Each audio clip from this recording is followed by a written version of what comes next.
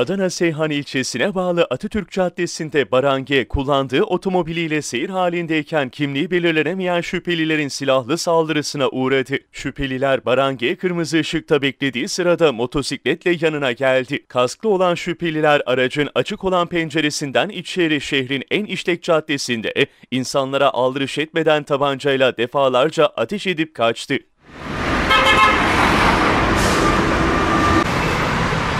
Olayda ağır yaralanan Barange, araçta bulunan diğer yakınları tarafından Seyhan Devlet Hastanesi'ne kaldırıldı. Yaralı gencin tedavisi devam ederken durumunun ağır olduğu öğrenildi. İhbar üzerine bölgeye gelen polis ekipleri çevredeki güvenlik kameralarını ve KGYS'yi incelemeye aldı. Yapılan incelemelerin ardından polis ekipleri şüphelileri yakalamak için çalışma başlattı.